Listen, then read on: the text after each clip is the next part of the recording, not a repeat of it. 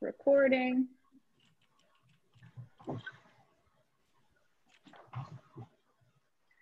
All right, so today's lesson is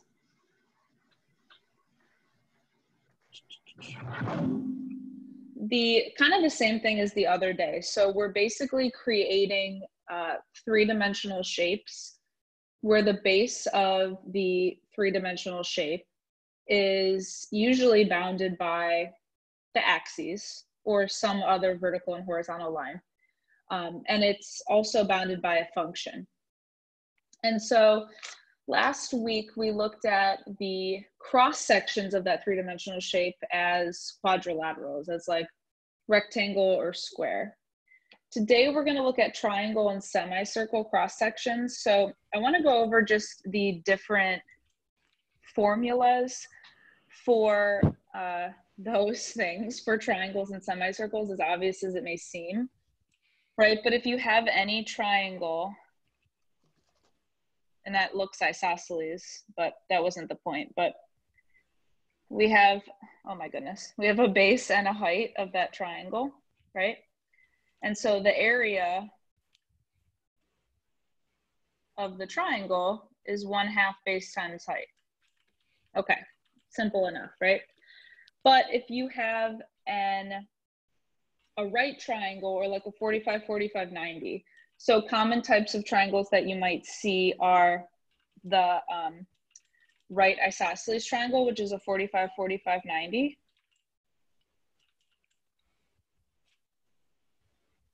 And if we have that, if you remember back from geometry, uh, algebra two, I don't know, pre-calc, most likely geometry.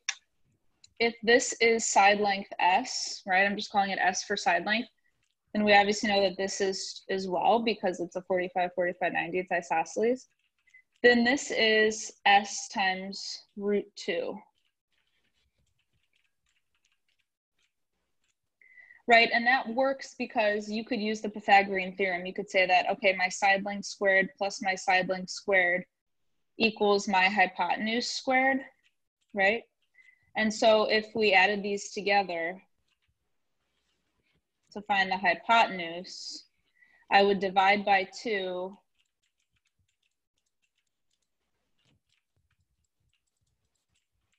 and then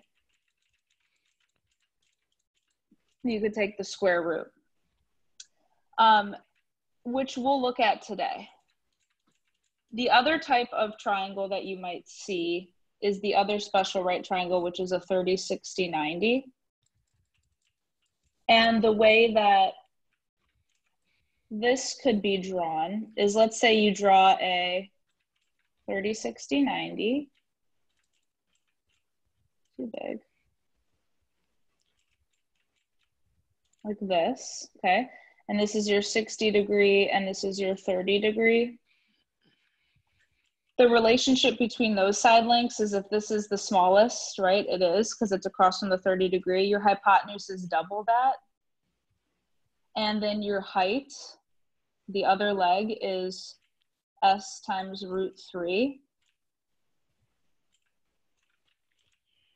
All right, who remembers this stuff from geometry? Does anyone remember seeing this? No idea.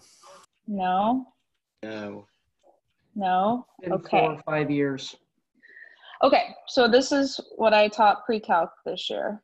For But- If we were to extend this, right, I've created an isosceles triangle, or equilateral triangle rather. So we're gonna be looking at some of these things today. Um, but just so you know, you can always use the Pythagorean theorem. So like that's what works here. It's basically what's working here for the 30, 60, 90. We're going to also be looking at semicircles a little bit. So I'm gonna erase this real quick. This 30, 60, 90 is important, an important idea. That's an S, not a five. I'm trying to erase it to look more like an S. But the idea behind these two special right triangles is that they have relationships between the side lengths. So like this is an isosceles, right? If this is five, this is five, this would be five root two. over here, whatever your smallest side length is, which is obviously across the 30 degree angle, you double that to find the hypotenuse, and you take the small side length and you multiply it by root three to get the longer leg. These are just relationships in this two special types of right triangles that we have. Um, we're also going to be dealing with semicircles today, right? So if we have a semicircle, which is a half circle, well, if we want to find the area of that half circle, excuse me, we just want to take the um, half of the area of a circle, right? So the area of a circle is pi r squared. So this is going to be half pi r squared. So that one's a little bit easier. But those are the two types of things we're mainly going to be seeing today. So understanding how to find the area of a triangle when it's a special right triangle. It's still the same formula. They just have relationships between the side lengths. Then we'll also see one problem with a semicircle. Okay. Let's move on to the first example in what I sent you. Um, it says we have the base of a solid S and the picture is drawn out and it's sideways on your sheet so you are able to make the three-dimensional cross sections here. So we have this nice XY axes and we have the line x plus y equals one. That line is written in standard form. If you wanna solve it for y, we'd get y equals negative x plus 1 or 1 minus x. So we're going to hit at this coordinate point and this coordinate point. And that's our line. And we're also bounded by the x-axis and the y-axis. Okay, then it says the cross sections perpendicular to the x-axis are isosceles right triangles with the hypotenuse lying in the base. So this took a minute for me to draw, but this is going to be the hypotenuse of an isosceles right triangle. It's going to be three-dimensional, so it's going to be coming off the sheet. It's going to look like this. And that's my best drawing of a 45, 45, 90 triangle where this right here is the hypotenuse of that triangle. Can draw another one.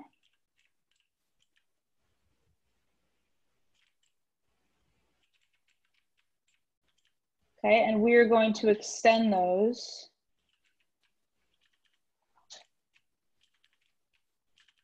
Here, and the idea is that it's going to create this nice three-dimensional shape. So since we're perpendicular to the x-axis, we want all of our functions and everything in terms of x.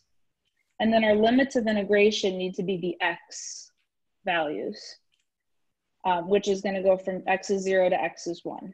So in order to find the volume overall, we are going to have to integrate from zero to one because that's on our x-axis of the area of each one of those triangles dx. So what we need to do is find the area of each one of those blue isosceles right triangles. So that's what we'll do down here. So I'm gonna draw one of those triangles, just like this. And I drew it in a slightly different way. So it's like seated in a different way. All right, so let's take a look at the hypotenuse of that triangle. The hypotenuse of that triangle is going to be the y value. Our function is x plus y equals one. Well, we need to solve that for y in order to find this hypotenuse here, which is the height, right here. And if we solve that for y, we'll have y equals 1 minus x. So this length right here goes up to our function, which is 1 minus x. Now, in order to find the area of this, I'll write this a little bit higher up so we'll have some more room. The area of that triangle is one half base times height, right? But what do we know about the base of this triangle and the height of this triangle? They change. They're one. Okay, they do change, you're right, depending on which which it is, right? Ugh. But that's why it's made with a variable in it. What do we know? Be- They're equal. They're equal. Why do we know that this base and this height are equal? Because It's it's not isosceles. right. Because it's isosceles, exactly. So I'm going to call this B for base, but I'm also going to call the height B for base because they're the same. Good But job. I'm not going to use H because I don't want it to be confused with hypotenuse. So the area of this triangle is one half base times base, or one half base squared. Again, it's still the area formula of a triangle, but it's this particular triangle is isosceles right. Okay, we need to find B in terms of X. Ideas on how we can find B. Man. uh, Divided by root what? two. Huh? Okay, Oh, root two. Gotcha. yes, we can divide it by root two. Smart I am. We can also just use the Pythagorean theorem if dividing it by root 2 is not clear as to why you're doing it. So that's what I'm going to personally do. You'll get the same answer if you want to do it the other way by dividing by root 2. So I'm going to just use the Pythagorean theorem to figure it out. So I'm going to have base squared plus another b squared is 1 minus x squared. So it's 2b squared is 1 minus x squared. Dividing by 2. Oops, I didn't mean to put the squared on the inside.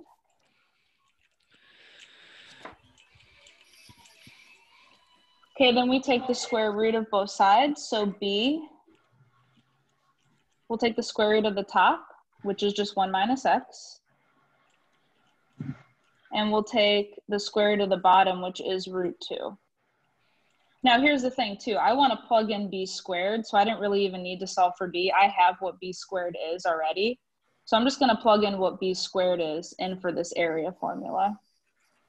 So if we plug that in for our area formula, we'll have 1 half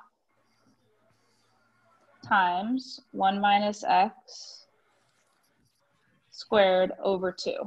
So again, I didn't really even need to solve for b because we needed to plug in b squared. So this was kind of a moot point there. All right, when we simplify this, our a of x becomes 1 fourth. And then we want to square 1 minus x. So we'll have 1 minus x times itself. So we'll be left with 1 minus 2x plus x squared when we multiply, FOIL it out, essentially. Okay, so now we have what a of x is. Now we can integrate. So we can plug that in. I'm gonna take this 1 fourth out front since it's really, like, we don't need it. So this is gonna be 1 fourth, the integral from zero to one of this guy right here, a of x. So 1 minus 2x plus x squared dx. And then, as always, the easiest part is the calculus because it's the most fun. So Right. Or you could just plug it into your calculator. you could. But What- we're going to do this part by hand because it's a good time. Speak Whatever you yourself. say, coach. so we'll have x minus x squared plus one third x cubed, which we want to evaluate at one and then subtract at zero. But if we plug in zero, it's just going to be zero anyway. So we really just need to evaluate this at one. So when we evaluate this at one, we'll have one minus one plus one third which will end up being a fourth times a third, which is a 12th. Yes. I love calculus. Me too. that was sarcasm sometimes. All right. So, really, these are definitely more challenging problems for sure. The mo- more challenging part is the geometry behind it. So again, the cross section was perpendicular to the x-axis, and it was the hypotenuse. So I just redrew one of those triangles, like flipping it over, so we could see it a little bit better. Could it The Could you- height. Go ahead. What's up? could you have one of the one of the uh, sides, not necessarily the hypotenuse, as the function? Like if the triangle was flipped Um, side. I mean, if the question was written differently, sure. But the question is that yeah, yeah, yeah. the cro yeah yeah sure it could be really anything you would still use the pythagorean theorem or the shortcut that i showed you from the start like which is essentially fast tracking the pythagorean theorem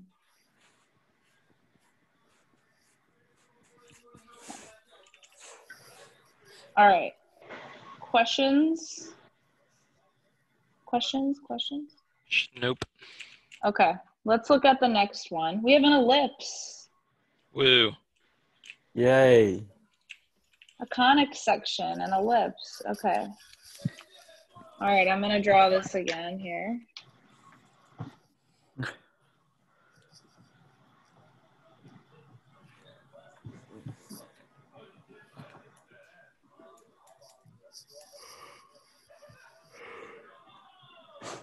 Can you mute like one person?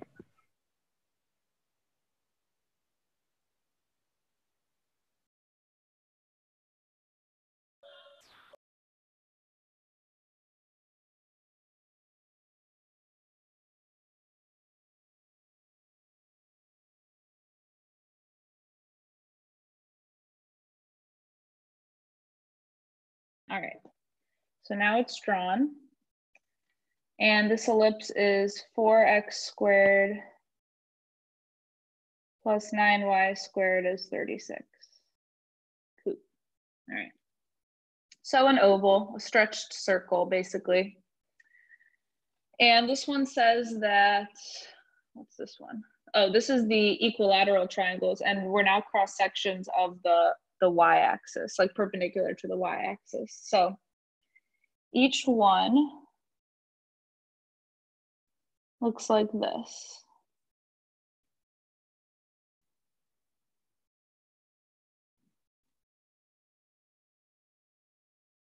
So we have an infinite amount of them, and they will connect to make our uh, our our 3D shape S. All right, so we need to explore A of X, right? Because again, our volume, and in this case, it'll be in terms of Y since we're perpendicular to the Y axis. Okay, now I wanna point something out that makes this problem a whole lot easier is the symmetry of the problem right? We could essentially say we could integrate from negative two up to two. Because we are integrating with respect to y, we need to have limits of integration on the y-axis. But we could also just integrate from zero to two and double it. So that's an option if you have to do this by hand, which we are going to do this one by hand because I'll update you on your AP exam, but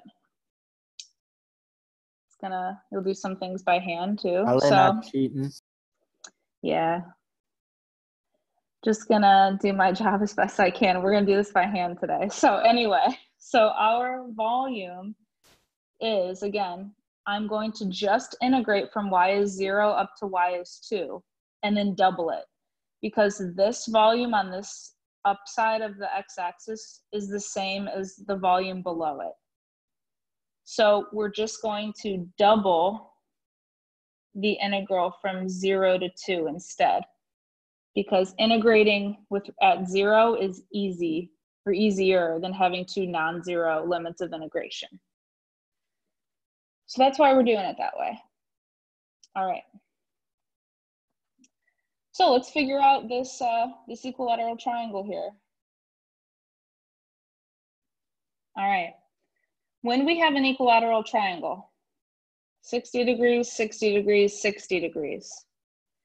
When you take the height of that equilateral triangle, you have just created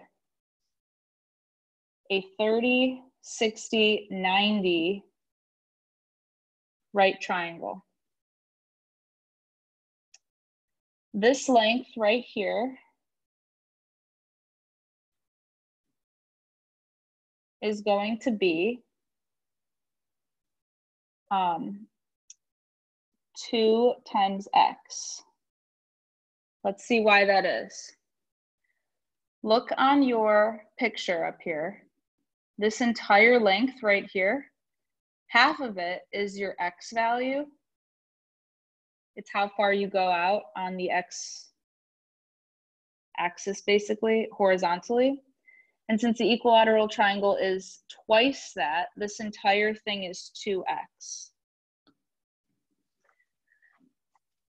When we looked at the 30, 60, 90 from the get, the 30, 60, 90 triangles, whatever this small piece is, and in this case it would just be x because it's only half of the entire bottom part of it, our height is root 3 times that value.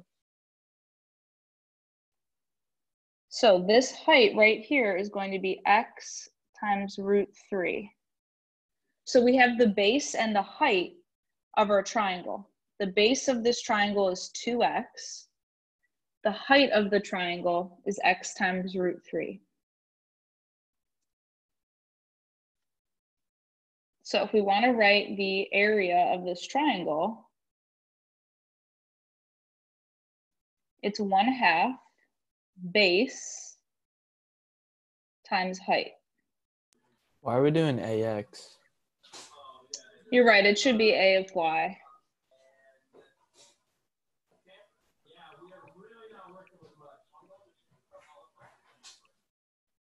Um, yeah, we'll change it to Y, sorry.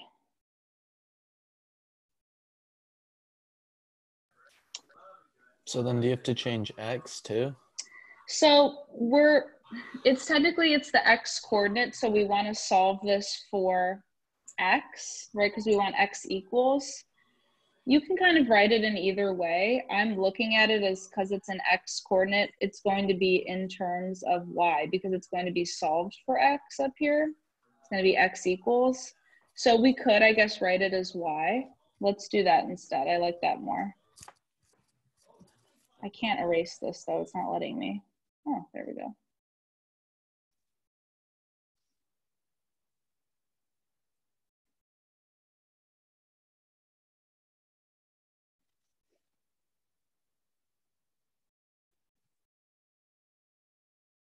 Okay.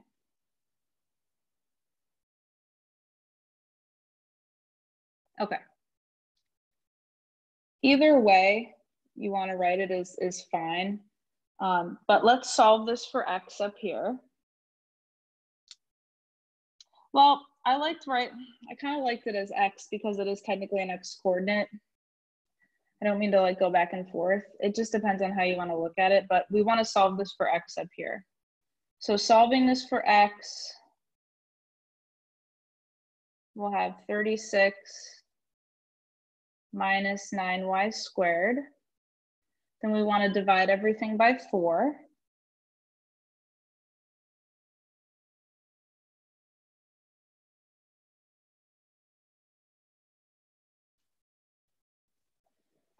Then we can take the square root. I'm actually going to go back to writing this as x. Sorry, CJ and everyone. Because it is technically an x coordinate, we're solving it for x. Okay. So if we want to solve this for x here, we can, but I want to point something out. When we're finding the area here, we want to write this in, we can write it like this.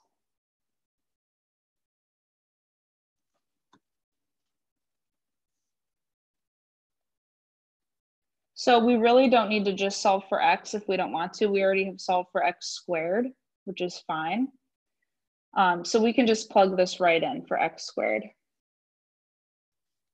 So when we do that, we'll have root 3 over 2. then I'm going to plug in for x squared here, which is this. So we'll have 36 minus 9y squared all over 4. So this is technically a of y, which is confusing at the start because it starts in terms of x, but we solved for x in terms of y. And we ended up getting in terms of y here. We can simplify this a little bit if you want. Um, so the best way to probably simplify this is if we look up here, we can factor out a 9. And so if we factor out a 9, and just multiply these two, we can get 4 minus y squared. If we factor a 9 out. All right. From here, that shows that our a of y is 9 root 3 over 8 times 4 minus y squared. Just multiplying through. So that is what we are going to integrate.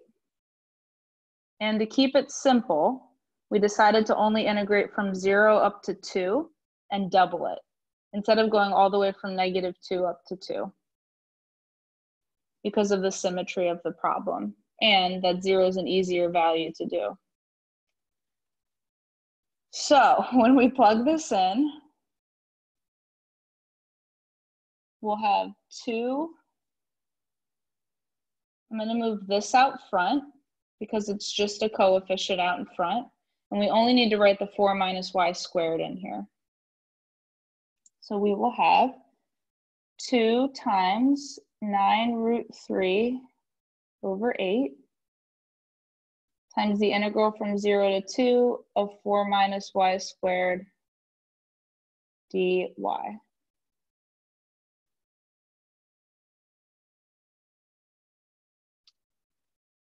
Okay, these can cancel, so this will just be a 4.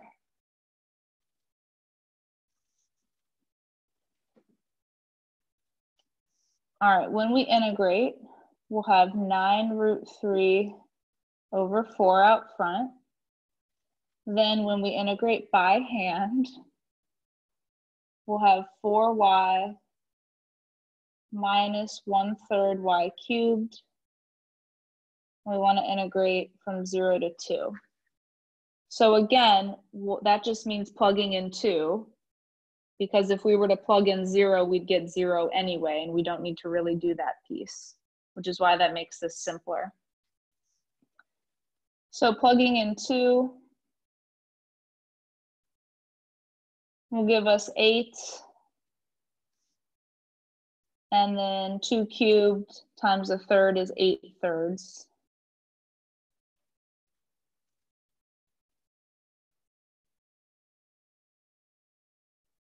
And then it's just algebra from this point. So 24 thirds minus 8 thirds is 16 thirds.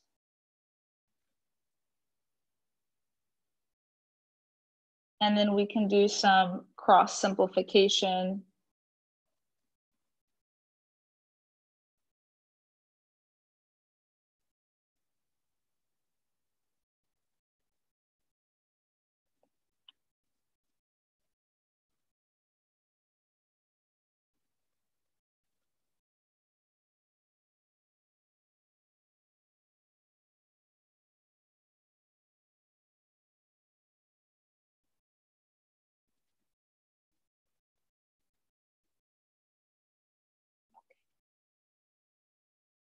So quiet. You guys ready for the next one? No. Yes, ma'am. Okay, awesome. Okay, let's take a look at this one. This one has a semicircle and no drawing, which is always fun. So if you want to use your calculator to see what y equals e to the negative x looks like, you can. But it's um it's an exponential function. So and it's just decay. Um, so it's go instead of like going upwards, it's just going down. So really, we're going from the y-axis to when x is one.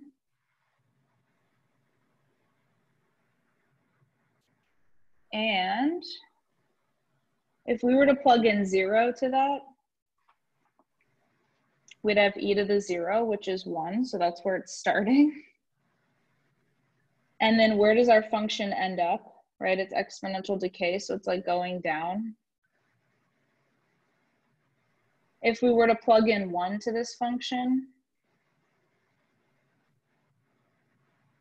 if we plug in one, we'd have one over e, which is like one over two point something. So it's just a number that's not quite zero, but also not quite one. So it's just going to like here. It looks something like that. So we're going from when x is zero to when x is one, because in this case, we're perpendicular to the x-axis. And our cross section, like bottom pieces, are the bottom part of the semicircle. So we draw those like in blue here.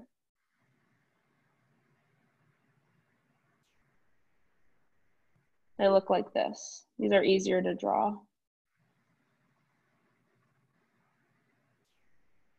and so on. So since we're perpendicular to the x-axis, our limits of integration will be in terms of x. So if we look at each one of these,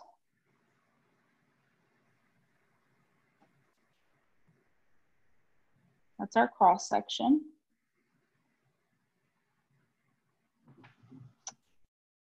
Let's figure out what the area of that is. Well, it's half a circle, so we know it's going to be half pi r squared. So we need to figure out what the heck the radius is. Ideas on how we can find the radius. It's the function. Okay, One Close. half. By It's two. one half. It's one half of the function. exactly. So if we look at this right here, the diameter of a, our semicircle is the height of our function, e to the negative x. It's the y value, e to the negative x. So the radius is only half that length. So our radius is a half of our function. So it's one half e to the negative x, or you just put it over two, doesn't matter. Which I'm gonna do. And then that gets squared. Cool. Okay, when we square that, I'm kind of running out of room. So when we square this two, it will become a four. And then I'm gonna multiply it by this two out front here.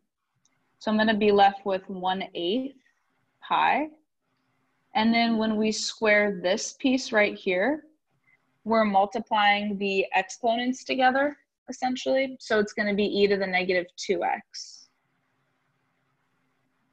Little exponent rules. Okay, so that is our a of x. That's the area of one cross section. To find the volume of our entire shape, we want to integrate with respect to x. So on our x-axis, we're traveling from 0 to 1 of a of x, which I'll just plug in. So it's 1 eighth pi e to the negative 2x dx. So we can bring the 1 8 pi out front and really only think about integrating e to the negative 2x. I want you guys to think about what that would be if you take the antiderivative of e to the negative 2x. Hint, it's a part of its own antiderivative.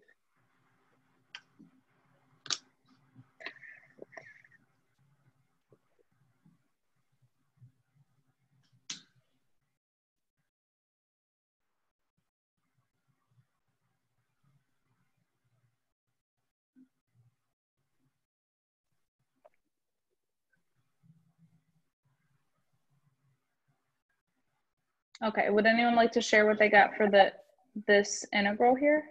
Or general antiderivative, rather? e to the negative 2x divided by negative 2. Nice. Okay, so we have to take into account that if we were to take this derivative, we'd have to end up multiplying by this negative 2 up here. So in our antiderivative, we have to divide by that negative 2.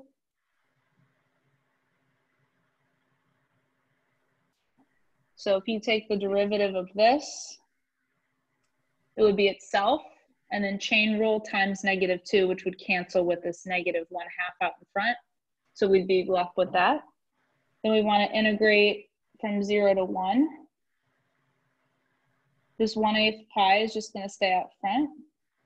We'll integrate, or we'll evaluate at 1 rather, so we'll have negative 1 half e to the negative 2 when we plug in 1. Then minus, we want to plug in at 0. e to the 0 is just 1. So it's going to be minus negative half.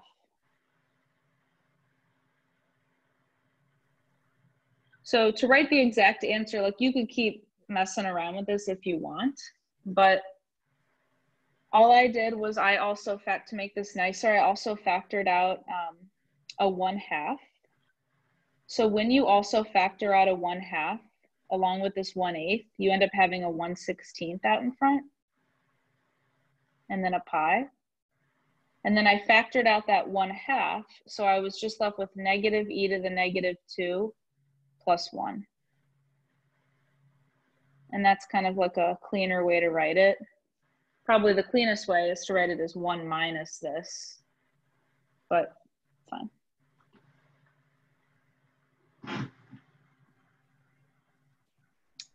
Okay, one more. We'll go as far as we can in this one here.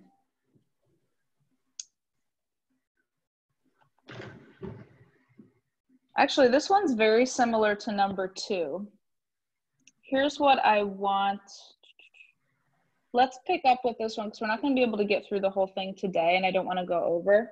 Let's pick up with number four because it's another equilateral one. Let's pick up with this one on Wednesday. And then we'll get into the discs and washer method, which I'm also going to start on Wednesday. And then I'll give you an assessment uh, to work on over the break. So I'll let you guys go a little bit early today. Questions? We okay? Yes, All ma'am. right. Good, good to hear. Good to hear. Okay. That a boy salutatorian. Glaberman, how do you feel? Does it feel does it feel pretty good? It feels good. Dang. Congrats. Yeah, congrats, Nate. Thank you. Congrats to all of you. I feel I feel so we bad survived all of you. PCP. Yeah, but like to end high school like this is just kind of like crappy. I don't know. Real shit. Mhm. Oh yeah. Yeah. Over, man. Guys, senior class meeting tomorrow, two o'clock with Mr. Grapes. Be there. Be there, be square. Yeah, go to that because he. I know he wants to hear your input I saw stuff. him. I saw him. Wait, is class over now? Nate, yeah, Ryan's class gonna give a over. You can speech. leave. All right, get done guys. now. So on the day you graduate, I'm gonna want to check. it's for the gym, I promise. Not my car. Yeah, not a car or. Or my son's- son's tuition. Oh, I should my probably stop recording. it's okay. No one's gonna watch this anyway.